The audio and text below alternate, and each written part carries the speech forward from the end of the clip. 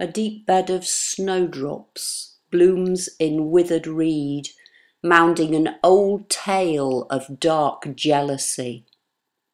The breastbone by the miller's pond Keens the lament of one drowned wet.